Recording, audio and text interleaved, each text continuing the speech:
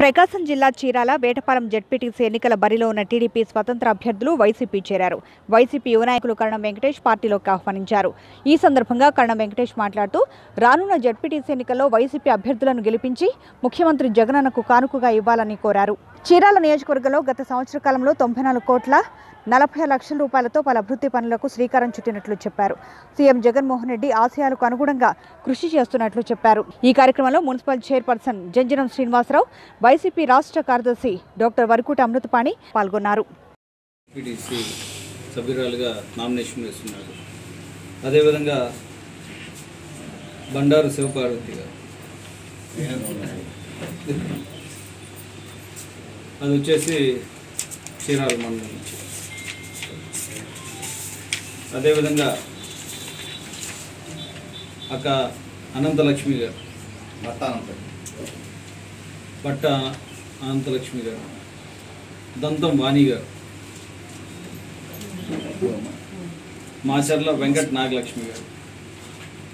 వారు కూడా ఆ పక్కన ఉన్నట్టున్నారు. రాఘవ. ఎందుకంటే మొట్టమొదటిసారి మనం ఇక్కడ ప్రెస్ మీట్ పెట్టడం జరిగింది. బాబు గారు పాత్రికేయులకి. వాస్తవంగా ఒక నిమిషం.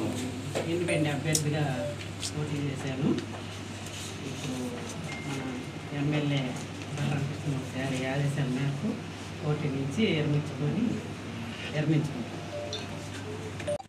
నిర్మించుకుంటాం పత్రికా విలేకరులకి ఎమ్మెల్యే గారికి అందరికీ ధన్యవాదాలు. మేము జెడ్పీటీసీగా పోటీ చేశాము మాకు సార్ టీడీపీలో ఉండగా సర్టిఫికేట్ తెచ్చింది. ఇప్పుడు ఎమ్మెల్యే గారు ఏది చెప్తే అది దానికి కట్టుబడి ఉంటామని చెప్తున్నాను నా పేరు బిట్రస్ చేత రెండు వేల ఒకటిలో నేను జడ్పటీసీగా చేస్తున్నాను. ప్రస్తుతానికి మొన్న సంవత్సరం క్రితం నామినేషన్ వేయడం అయితే జరిగింది. యాక్చువల్గా నాకు అయితే సైకిల్ వచ్చింది. కానీ మాకు ఎమ్మెల్యే గారి మీద అభిమానం వారు చెప్పిన మాట గౌరవం ఇచ్చి మేము ఈ ఎన్నికల నుంచి సైలెంట్ అయ్యాము ఎక్కడ పబ్లిసిటీ అనేది ఎక్కడ క్యాన్వా అనేది చేయలేదు. పోస్టులు కూడా ఎక్కడ కొట్టించలేదు. తెలుగుదేశం పార్టీలో ఉన్నాం కాబట్టి తెలుగుదేశం పార్టీ తరఫు నుంచి జడ్పీటీసీగా పెట్టా సుజాత గారిని చీరాల మండలం వేటపాల మండలం బట్టానంత లక్ష్మి గారిని మేము తెలుగుదేశం పార్టీ తరఫున పోటీ చేయించాము. హండ్రెడ్ హండ్రెడ్ పర్సెంట్ వీళ్ళిద్దరు రెండు జడ్పీటీసీలు గెలిచే అభ్యర్థులు వీళ్ళు.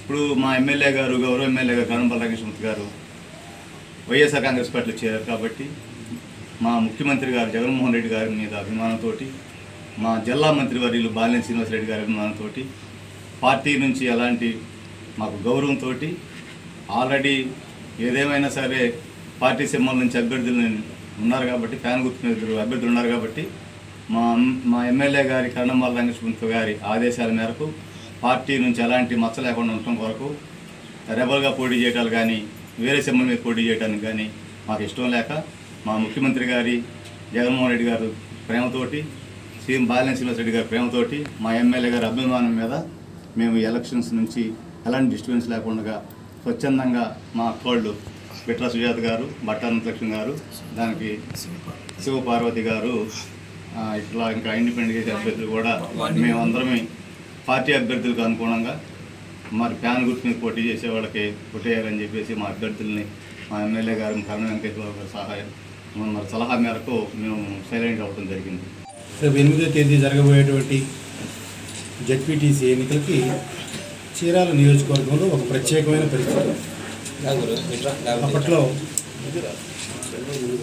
మేము వైఎస్ఆర్ కాంగ్రెస్ పార్టీలో రాష్ట్ర కార్యదర్శిగా ఉండి అంతకుముందు అప్పటి తెలుగుదేశంలో ఉన్నటువంటి నాయకులపైన ఎమ్మెల్యేలపైన తిరుగుబాటు చేసి అతని అకృత్యాలు ఎండగట్టి అతను చేసేటువంటి అక్రమ దందాలన్నీ వెలికితీసి ప్రజల్లో తెలుగుదేశంలో ఉన్నటువంటి ఎమ్మెల్యే ఎలా చేశాడు అని చెప్పి అతన్ని అతన్ని ఓడించడానికి ఒక బాట వేశాను అధిష్టానం దృష్టికి తీసుకెళ్ళి ఇతను సరైన వ్యక్తి కాదు అని చెప్పాం అయినా కొన్ని కొన్ని ప్రత్యేక పరిస్థితుల్లో అధిష్టానం ఒక నిర్ణయం తీసుకొని అతన్ని వైఎస్ఆర్ కాంగ్రెస్ పార్టీ అభ్యర్థిగా ప్రకటించింది. మాకు సీటు రాకపోయినా అతను మాకు విరోధి అయినా మేము జగన్మోహన్ రెడ్డి గారు చెప్పినటువంటి మాటలకి ఆయన నిర్ణయానికి తలొగ్గి కృష్ణమోహన్ గారికి మేము సపోర్ట్ చేసి అతని తరపున ప్రచారం చేయడం జరిగింది. అది అందరికీ తెలిసిందే. అందుకే ఇరవై అయింది లేకపోతే ముప్పై అయ్యింది. అయితే తర్వాత క్రమంలో పోతల సునీత గారు వైఎస్ఆర్ కాంగ్రెస్ పార్టీలో చేరినప్పుడు మళ్ళా అంతకుముందు ఈ మొన్న ఐదు కాకుండా అంతకుముందు సంవత్సరాలు ఆమెను విరోధిగా చూసిన మేము మళ్ళా ఆమె కూడా ఆహ్వానించి ఒక ర్యాలీతో తీసుకెళ్ళి ఆమెను కూడా సపోర్ట్ చేస్తుంది ఆ తర్వాత క్రమం మీకు తెలిసిందే ఇక్కడున్న పరిస్థితులను బట్టి జగన్మోహన్ రెడ్డి గారు చేస్తున్నటువంటి సంక్షేమ పథకాలకు ఆకర్షితులై లోకల్ పరిస్థితులను దృష్టిలో ఉంచుకొని ఇక్కడ ఉన్న వాళ్ళని సేవ్ చేయటం అట్లాగే జగన్మోహన్ రెడ్డి గారి పథకాలకి ఆకర్షితులవటం రెండింటి వలన బలరాం కృష్ణమూర్తి గారు వైఎస్ఆర్ కాంగ్రెస్ పార్టీకి మద్దతు తెలియజేయటం వారి కుమారుడు వైఎస్ఆర్ కాంగ్రెస్ పార్టీలో చేరటం జరిగింది. అప్పుడు కూడా మేము వెళ్ళి వారిని ఆహ్వానించాము ఎందుకంటే మేము వైఎస్ఆర్ కాంగ్రెస్ పార్టీకి నిష్ణాతులమైనటువంటి ఒరిజినల్ కార్యకర్తలం కాబట్టి మాకు సీటు రాకపోయినా ఒప్పుకున్నాం.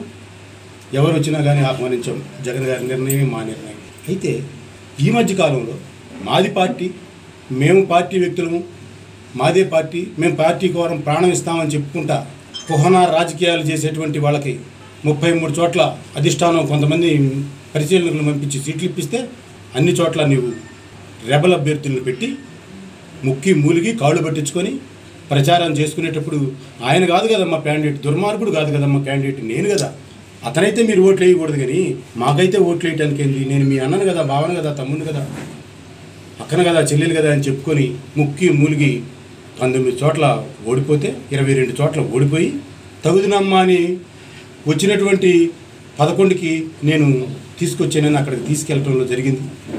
అక్కడ ఈ చీరాల నియోజకవర్గంలో ఎవరైతే ఏంటి ఇతను చేసిన పని తప్పుడు పని అసహించుకుంటున్నారు అందరూ కడుపు అన్నం తింటున్నారా గడ్డి తింటున్నారని ప్ర సామాన్య ప్రజానికం కూడా అనుకుంటా ఉన్న రోజుల్లో అక్కడికి తీసుకెళ్ళి నేను పెద్ద పొడి చేశాను రక్కేసానని చెబితే అక్కడ కూడా అందరూ అసహించుకొని ఏ ఏ పార్టీ వాడివి నువ్వు? ఏ గుర్తును ఓడించావు? మైండ్ ఉందా లేదా అన్నంత గట్టిగా మాట్లాడినట్టుగా మనకు వినపడ్డాయి.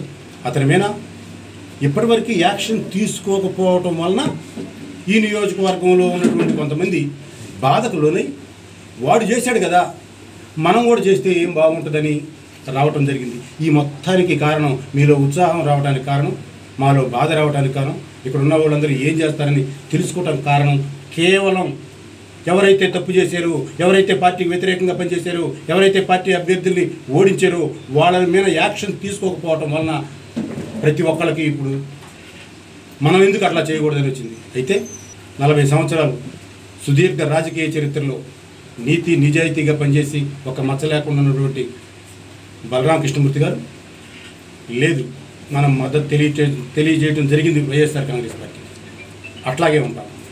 మనం పార్టీ తరఫున అప్పుడు మా అప్పుడున్న పరిస్థితుల్లో మనం తెలుగుదేశం అభ్యర్థులకి మనం బీఫాములు ఇచ్చినా మనం ఎప్పుడైతే పార్టీకి మద్దతు తెలియజేసామో అప్పటి నుంచి మనం కట్టుబడి ఉండాలి.